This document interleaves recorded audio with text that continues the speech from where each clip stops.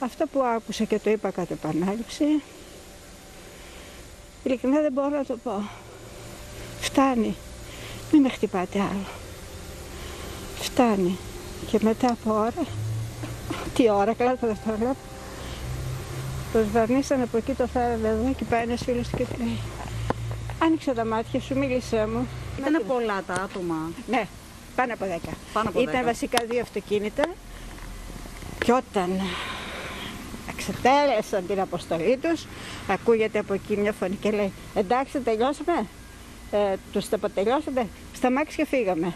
Αυτά δεν θα το ξεχάσω. Αυτή η φωνή στα αυτιά μου μέσα.